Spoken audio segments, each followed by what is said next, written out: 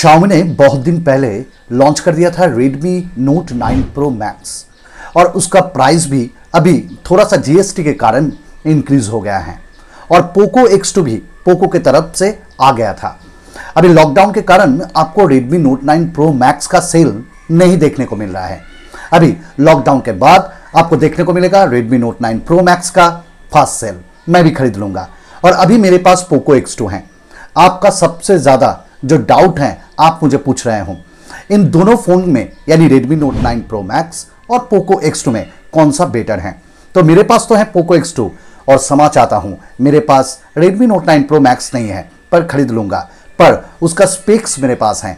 तो दोनों का एक साइड बाय साइड कंपैरिजन इस वीडियो में कर दूँगा। दोनों ही फ़ोन बहुत ही अच्छा है। Redmi Note 9 Pro Max का स्पेक्स अगर आप देखोगे तो प्राइस में काफ़ी अच्छा है। पर हाँ प्राइस अभी थोड़ा सा इंक्रीज हुआ है।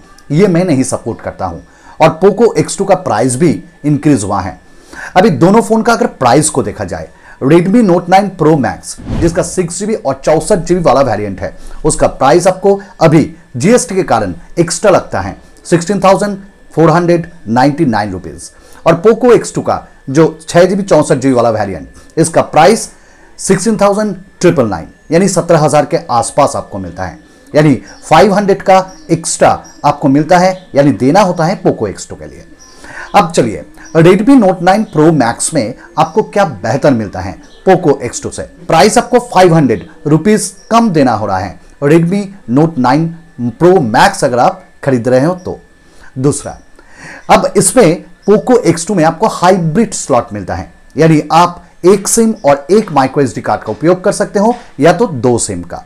पर Redmi Note 9 Pro Max में आप तीन कार्ड स्लॉट आपको देखने को मिलता है। यानी आप दो सिम और एक माइक्रो एसडी कार्ड का उपयोग कर सकते हो।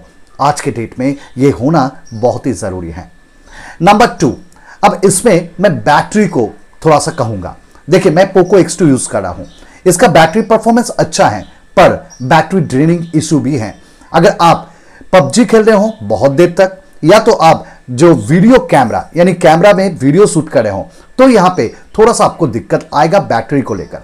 अभी इसमें पोको एक्स में 4500 थाउज़ेंड बैटरी मिलता है। वही Redmi Note 9 Pro Max, ये नोट सीरीज़ के अंदर आता है। इसलिए इसमें आपको थोड़ा सा ज़्यादा बैटरी मिलता है 5020 थाउज़ेंड का।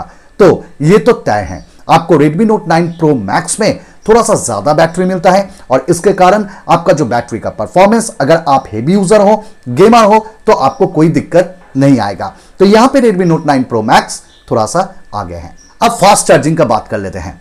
देखिए पोको X2 में जो प्रोसेसर मिलता है, वो तो ज़्यादा फास्ट चार्जर को सपोर्ट करता है, यानी फास्ट चार्जिंग को, पर आपको बॉक्स में मिलता है 27 वाट का एक फास्ट चार्जर पर Redmi Note 9 Pro Max में आपको 33 वाट का एक फास्ट चार्जर मिलता है। काफ़ी बढ़िया। और पोको X2 से ज़्यादा मिलता है और इसीलिए, और Xiaomi ये भी क्लेम करता है ज़ीरो टू फिफ्टी परसेंट ये आपको सिर्फ़ थर्टी मिनट्स पे चार्ज करके देगा। तो यहाँ पे फास्ट चार्जिंग के मामले में भी अब यहाँ पे Redmi Note 9 Pro Max आगे हैं, और बैटरी के मामले में, यानी बैटरी परफॉर्मेंस के मामले में भी Redmi Note 9 Pro Max आगे हैं। अब देखिए कैमरा सेल्फी कैमरा में आपको Redmi Note 9 Pro Max ज़्यादा अच्छा लगेगा। अब देखिए सिंगल कैमरा है, Redmi Note 9 Pro Max में। 32 मेगापिक्सल का। पर Poco X2 में आपको दो कैमरास मिलता है, एक 20 मेगापिक्सल का और दूसरा 2 मेगापिक्सल का। अब ये जो 2 मेगापिक्सल का कैमरा है, ये कुछ खास नहीं है, काम नहीं करता है वैसे। अगर आप उसको जो बंद करके भी पिक्चर लेते हो तो यहाँ पे पोर्ट्रेट मोड पे आप पिक्चर ले सकते हो। पर 32 मेगापिक्सल आपको Redmi Note 9 Pro Max पे मिलता है। तो आगे है Redmi Note 9 Pro Max, क्योंकि इसमें 32 मेगापिक्सल कैमरा मिल जाता है। चलिए design and build quality Poco X2 आपको ज़्यादा अच्छा लगेगा, क्योंकि इसका डिज़ाइन और बिल्ड क्वालिटी अच्छा है। ग्लास मिलता है। वही Redmi Note 9 Pro Max भी अपनी जगह ठीक है। इसका भी डिज़ाइन एंड बिल्ड क्वालिटी काफ़ी अच्छा है। ग्लास मिलता है आपको वहाँ पे। इसका ओवल टाइप आपको थोड़ा सा मिलता है पोको एक्स में, और उसमें आपको स्क्वाड टाइप मिलता है। ये तो आपके ऊपर निर्भर करता है, आप कौन सा लेना चाहते हो। अभी पोको एक्स में कुछ एक्स्ट्रा आपको मिलता है। देखिए, आपको यहाँ पे 6.6 इंचेस का एक डिस्प्ले मिलता है, और यहाँ पे डुअल पंच होल मिलता है, और Redmi Note 9 Pro Max में सिंगल पंच होल और यहाँ पे 120 ट्वेंटी हर्ट्स रिफ्रेश रेट दिया गया है पोको X2 में, और ये ऑटोमेटिक 60 हर्ट्स में भी यहाँ पे ट्रांसफ़र होता है, यानी स्विच होता है। पर Redmi Note 9 Pro Max पे आपको 60 हर्ट्ज रिफ्रेश रेट डिस्प्ले देखने को मिलता है। अब ये आपके ऊपर निर्भर करता है। आप 120 हर्ट्ज रिफ्रेश रेट ज़्यादा पसंद करते हो या 60 हर्ट्ज यानी आपके दैनंदिन जीवन पे कौन सा यूज़ यूजेबल कौन सा ज़्यादा है? चलिए नेक्स्ट जो है, यहाँ पे कैमरा चौसठ मेगापिक्सल का कैमरा पीछे में आपको मिलता है दोनों ही फ़ोन में। पर यहाँ पे सेंसर का यहाँ पे खेल है।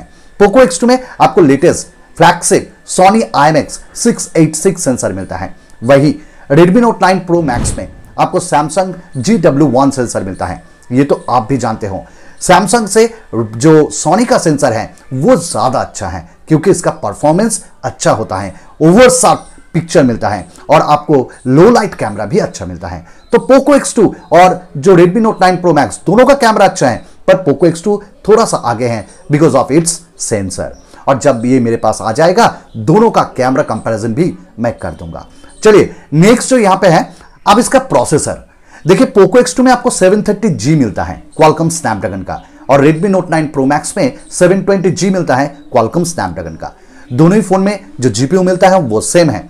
और आपको वैसे ज़मीन आसमान का डिफरेंसेस तो नहीं मिलेगा, पर हाँ 730G भी आगे है, क्योंकि इसका परफॉर्मेंस थोड़ा सा एक्स्ट्रा मिलता है 720G के मुकाबले में। पर नाविक ये सपोर्ट करता है 720G पर 730G ये सपोर्ट नहीं करता है। और परफॉर्मेंस में आपको यहाँ पे अच्छा लगेगा थोड़ा सा पोको X2 अब आपके ऊपर निर्भर करता है, आप कौन सा प्रोसेसर के साथ जाना चाहते हो। अभी जो लास्ट है liquid cooling technology, Redmi Note eight Pro में था, पर मैक्स में नहीं है। और पोको X2 में आपको लिक्विड कूलिंग टेक्नोलॉजी देखने को मिलता है। यानी अगर आपका फ़ोन ज़्यादा हीट होता है तो वो यहाँ पे इंस्टेंट तो नहीं, कुछ देर में यहाँ पे कूल भी होता है। पर पोको एक्स टू का हीटिंग इशू है, इसमें बहुत ज़्यादा हीट होता है। अगर आप पबजी खेलते हो, या तो आप शूट कर रहे हो रियर कैमरा से वीडियो तो ये बहुत हीट होता है और वो कूल भी होता है। पर Redmi Note 9 Pro Max में आपको लिक्विड कूलिंग टेक्नोलॉजी नहीं मिलता है। तो आपको कौन सा लेना चाहिए? देखिए, अगर मैं अपना हिदायत आपको दूँ तो आप पोको X2 ले सकते हो, क्योंकि इसका डिज़ाइन इसका बिल्ड क्वालिटी इसका डुअल पंच होल डिस्प्ले इसका 120 ट्वेंटी रिफ्रेश रेट इसका 730G प्रोसेसर और इसमें जो लेटेस्ट सोनी IMX 686 सेंसर मिलता है, वो काफ़ी बढ़िया लगेगा आपको। अब आपके ऊपर निर्भर करता है, आपके लिए कौन सा सही हो।